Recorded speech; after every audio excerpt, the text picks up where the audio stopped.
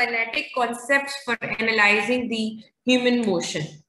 तो सबसे पहले हम देखेंगे कि इससे रिलेटेड जो बेसिक टर्म्स हैं, वो कौन कौन सी हैं जिसके लिए हमें रिक्वायर्ड है?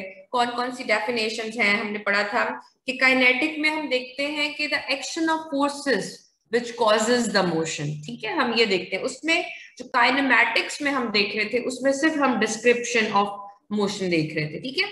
अब इसमें हमने कौन कौन सी बेसिक कॉन्सेप्ट में देखे कौन कौन सी डेफिनेशन देखनी है आपने फिजिक्स uh, में पढ़ी हुई है ऑलरेडी ना? तो नंबर वन में देखना है एनर्शिया मैस क्या है डेफिनेशन इसकी फोर्स क्या है सेंटर ऑफ़ ग्रेविटी क्या है वेट क्या है प्रेशर क्या है वॉल्यूम क्या है डेंसिटी क्या है एंड टाक क्या है ठीक है? इनकी डेफिनेशन आज हम देखते हैं। किस किस की मैंने कहा है? Inertia mass force centre of gravity weight pressure volume density and torque and impulse ठीक है, ये सारी डेफिनेशन आपने वैसे बुक में जो फिजिक्स में है, वो ये पढ़ी हुई है। अनर्शिया क्या होता है? अब देखिए अनर्शिया हमने कहा था किसी भी चीज़ या किसी भी मूवमेंट में रेजिस्टेंस को कहते हैं। ठीक है? Tendency of the body to resist a change in its state of motion. Okay? Resist karna. Inertia means resistance. Tendency of the body to resist a change in its state of motion. Inertia is the tendency of the body to maintain its current state of motion, whether motionless or moving with the constant velocity. That is known as inertia. ठीक है ये आपसे definitions पूछी जा सकती हैं, या आपको एमसीक्यूज में ये चीज़ आ सकती है, ठीक है? कि tendency of the body to resist a change in its state of motion is called inertia mass volume pressure इस तरह ऑप्शन देके आपसे पूछा जा सकता है, ठीक है? अब अनर्शिया का कोई यूनिट्स ऑफ़ मेज़रमेंट नहीं। अगर आपको नीचे ऑप्शन में आए कि इसका वॉल्यूम का किलोग्राम है पास्कल है ऐसा यूनिट में कैलोरी है तो आपका क्या कहेंगे, इसका कोई यूनिट ऑफ़ मेजरमेंट्स नहीं है, ठीक है? और amount of inertia a body possesses means वो रेजिस्टेंस जो बॉडी पोजेस करती है, किसी भी मोशन के अगेंस्ट वो किसके डायरेक्टली प्रोपोर्शन होती है? मैस के। किसके डायरेक्टली प्रोपोर्शन होती है? मैस के। कि the movement sorry the amount of inertia a body possesses is directly proportional to its mass the more massive an object जितना ज़्यादा बॉडी का मैस होगा, उतनी ही ज़्यादा उसमें टेंडेंसी होगी कि वो उस स्टेट को रेजिस्ट कर सके।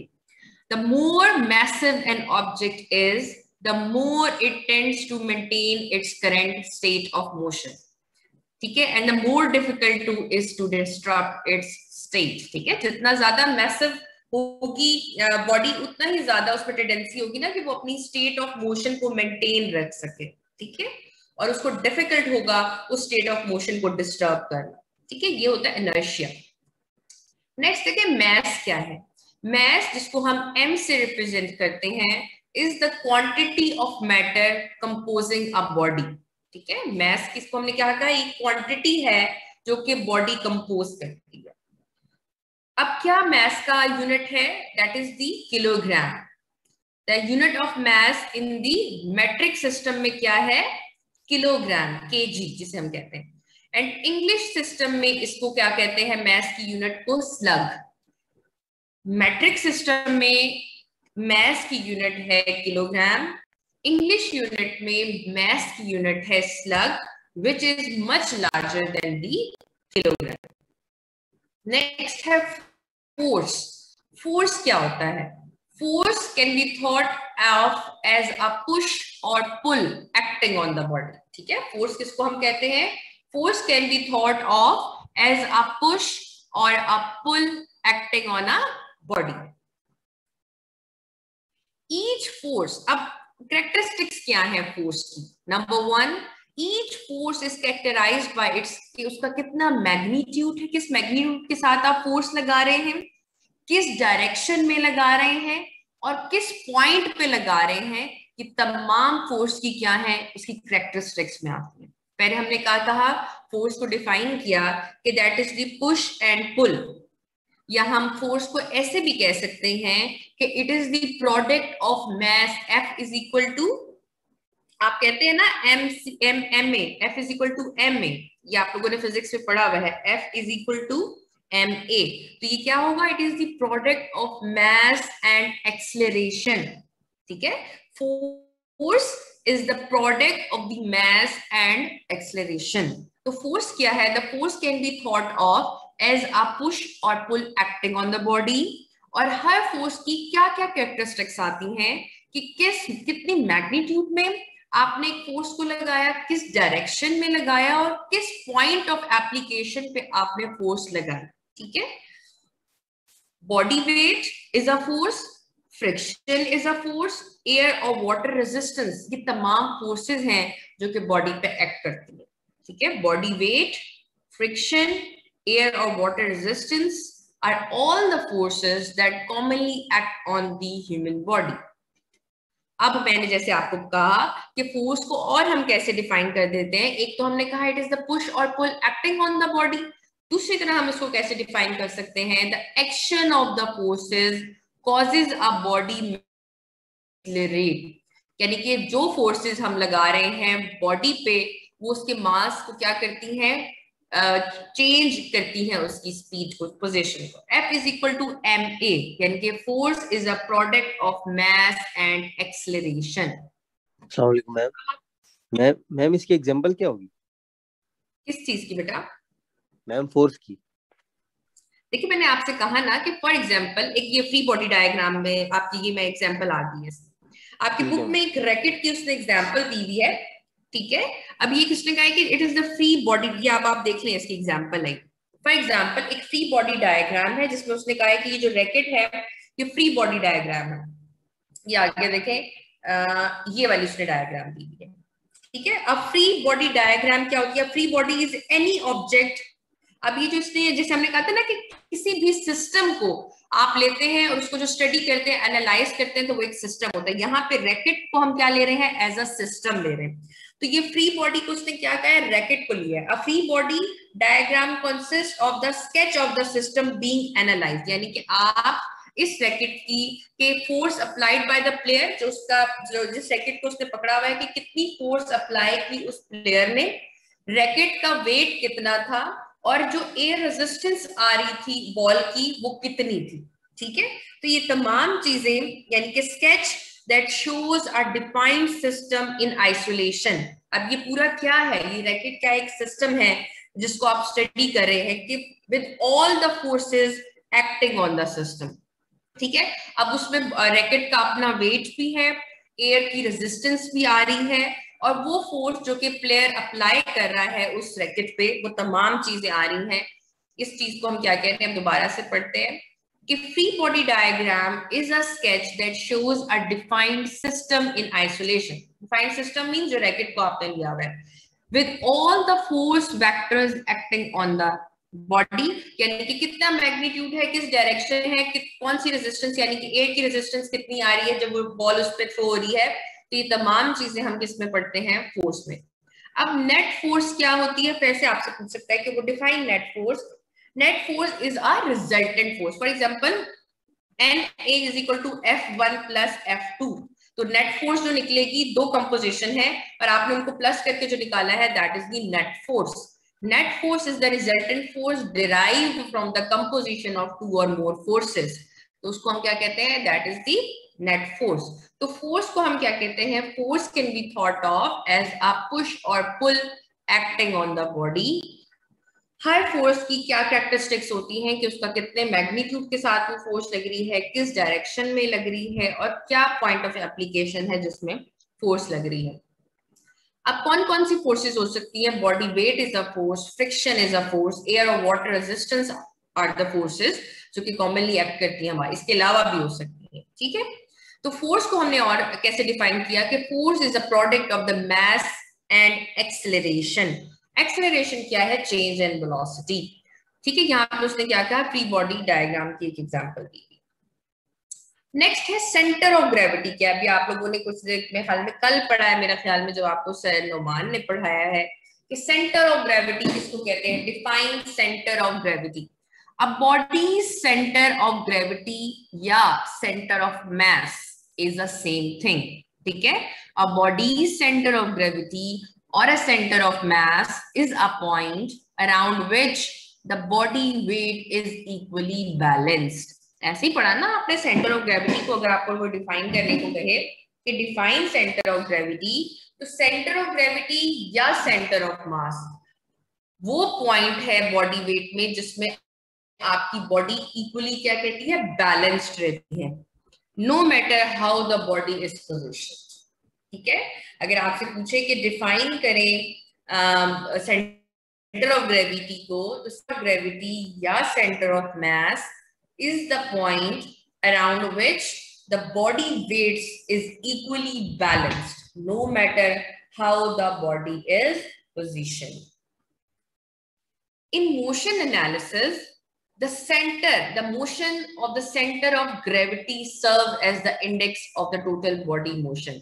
कहते हैं कि अगर आप किसी भी मोशन की एनालिसिस कर रहे हैं तो जो सेंटर ऑफ़ ग्रेविटी है उसको टोटल बॉडी इंडेक्स कंसीडर करके फिर आप किसी यानी कि सेंटर कंसीडर करके फिर आप किसी बॉडी का मोशन को एनालिसिस करते हैं अब काइनेटिक परस्पेक्टिव से देखें तो the location of the centre of the mass determines the way in which the body responds to external. For example, मैंने कहा कि center of gravity है जो कि center of mass है जिसमें body आपकी equally balanced हुई है अब जो external forces act करेंगी उस body पे अब वो एक आपने center consider कर लिया अब वो जो फोर्स फॉर एग्जांपल वो राइट uh, साइड पे लग रही है फोर्स या एक्सट्रीम लेफ़्ट साइड पे लग रही है तो वो जो उसके बैलेंस को डिस्टर्ब करेंगी तो वो ये कह रहा है कि जो सेंटर ऑफ़ मैस है ये डिटरमिन करेगा कि बॉडी एक्सटर्नल फोर्स जो लग रही है, वो बॉडी फिर कैसे रिस्पॉन्स कर रही है। ठीक है? अब वेट क्या होता है? वेट को हम कैसे डिफाइन कर सकते हैं? वेट इज़ एक मिनट बेटा। Weight is defined as the amount of the gravitational force exerted on the body ऐसी है ना? ग्रेविटेशनल ग्रेविटी वेट आपका नीचे की तरफ़, वही है ना पुल करे ग्रेविटी आपको नीचे की तरफ़ खींचे as the amount of gravitational force exerted on the body as W is equal to M G और ये जो ए होता था, ये आपका क्या होता था? कांस्टेंट होता था, जिसे हम कहते थे एक्सेलरेशन ऑफ़ ग्रेविटी जिसे हम किस किस, कितना लेते थे? 9.81 ऐसे ही है ना? इसको हम कितना लेते थे? 9.81 मीटर पर सेकेंड स्क्वायर ठीक है? तो अगर हम करेंगे तो वेट को हम कैसे डिफाइन कर सकते हैं कि weight is the product of mass multiplied by the acceleration of gravity और यहाँ पे एक्सलरेशन ऑफ़ ग्रेविटी की वैल्यू क्या है? कांस्टेंट है. That is 9.81 metre per second square ठीक है? दोबारा पढ़ते हैं. Weight is defined as the amount of the gravitational force exerted on the body. Algebraically, its definition is a modification of the general definition. Force को हमने क्या कहा था? It is a product of mass and acceleration. इसी तरह weight को हम क्या कह रहे हैं? Weight being equal to the mass multiplied by the acceleration of gravity. And weight is the force so unit of the weight जो weight का हमने किलोग्राम पढ़ा है तो वेट का यूनिट भी क्या होगा? तो वेट को हम क्या कह रहे हैं कि weight is the force so weight are the unit of the force the factor of proportionality is the acceleration of gravity ठीक है? और उसकी वैल्यू हमने कितनी ली है? 9.81 मीटर पर स्क्वायर ठीक है? अब प्रेशर क्या है? डिफाइन प्रेशर तो ये हमने, ये सारी चीज़ें फिजिक्स की है, इसमें कोई इतनी मुश्किल बात नहीं है। Pressure is defined as the force distributed वही है ना कि जितने एरिया में आपने प्रेशर लगाया, वो क्या उसको हम कहेंगे? वो उसका क्या है? वो प्रेशर ठीक है? वो उसकी फोर्स है। Defined as the force distributed over a given area तो और भी हम इसको डेफिनेशन देख सकते हैं कि force is sorry pressure is equal to force per by the unit of the area ठीक है कि pressure is defined as the force over the given area so force is equal to f over a not it is a multiplication it is a divisional sign the unit of force unit of pressure are the unit of forces divided by the यानी कि अगर force का unit जो है वो है Newton तो acceleration यानी कि एरिया जो होगा कि, कितना उसने एरिया कवर किया ये ये कैपिटल है, ये एरिया है, ये स्मॉल ए नहीं है, ये एक्सेलरेशन नहीं है, ये एरिया है, यानी कि कितना सेंटीमीटर स्क्वायर ठीक है? तो pressure is defined as the force distributed over a given area area को हम क्या कहते हैं? स्पेस कितनी स्पेस में वो डिस्ट्रीब्यूट हुई हुई है फोर्स ठीक है? तो इसका यूनिट ऑफ़ एरिया अगर हम देखें प्रेशर की अगर हम यूनिट मेट्रिक सिस्टम में देखें तो F is equal to force है। फोर्स का यूनिट क्या होता है? न्यूटन और एरिया मींस सेंटीमीटर स्क्वायर यानी कि न्यूटन पर स्क्वायर सेंटीमीटर और इसको हम क्या कह सकते हैं? पास्कल कह सकते हैं। ठीक है? पास्कल ये दोनों यूनिट जो है, वो किसके हैं? प्रेशर के। तो प्रेशर को मैंने कैसे डिफाइन किया? As the force distributed over a given area unit of force are the unit of unit of pressure are the unit of forces divided by the unit of area. तो हम कैसे करेंगे? F की देखें तो Newton है area की देखें तो पर स्क्वायर सेंटीमीटर है, ठीक है? और इसको हम वैसे और क्या कह सकते हैं? दूसरा यूनिट क्या है? Pascal one pascal represent one newton per metre square one pascal किसके इक्वल होता है? One newton per square metre ये फाइव गलती से आ गया, इसका नहीं देखना।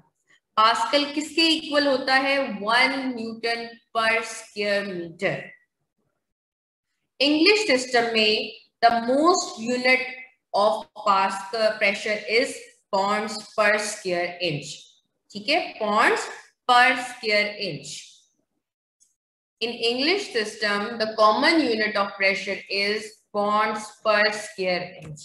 ठीक है? प्रेशर को हमने क्या कहा?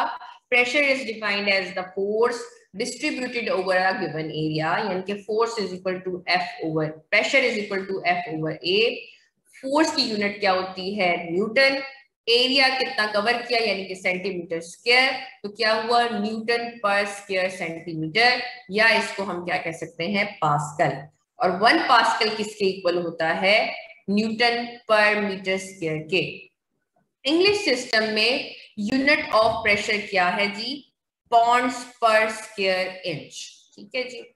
अब वॉल्यूम क्या है? अब bodies volume is the amount of change बल्कि ये हम बस यहीं तक पढ़े प्रेशर तक हमने पढ़ा है, वॉल्यूम डेंसिटी टार्क इम्पल्स ये कल पढ़ा ठीक है? ये डेफिनेशन है, अब अपनी बुक में खोलें। It's like page number sixty मेरी बुक का पेज नंबर है सिक्सटी और हमने पढ़ा है page number sixty four volume से ऊपर ऊपर तक प्रेशर तक हमने पढ़ा। ठीक है इसकी कुछ एग्जाम्पल्स दी गई हैं वो भी आप पढ़िएगा। ठीक है बाकी हम इनशाला मैं आपको आ, कल हम इसको कंप्लीट करें हाँ जी मैं अटेंडेंस ले लूँ अब ताकि आपका नेक्स्ट लेक्चर जो है वो आप ज्वाइन करें